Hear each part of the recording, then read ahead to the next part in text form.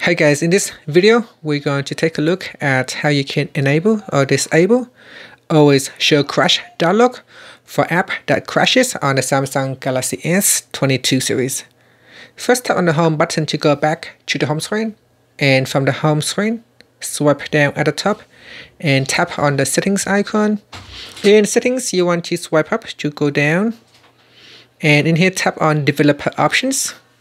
Next, we swipe up to go down and in here we're going to so let's say it's a long list so we go down a little bit.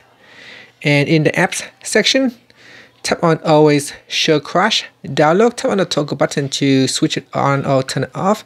Instead of show a pop-up every time an app crashes. And that's it. Finally you can tap on the home button to go back to the home screen thank you for watching this video. Please subscribe to my channel for more videos